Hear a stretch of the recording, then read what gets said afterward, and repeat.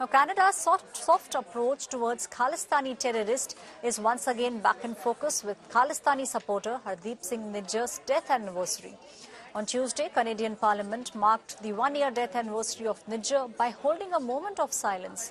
Hardeep Singh Nijjar was a known terrorist and the leader of the Khalistan Tiger Force.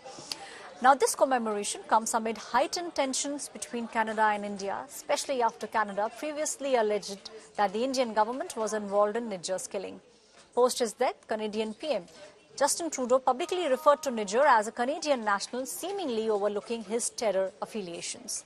Nijjar was the chief of the Khalistan Tiger Force, was killed in Canada's Surrey outside the British Columbia Gurudwara on the 18th of June last year. His name was on the list released by the Indian government with 40 other designated terrorists. At the moment, there is tension between India and China with regards to the commemoration that took place in Canadian Parliament with regards to the one-year death of Hardeep Singh Nijjar.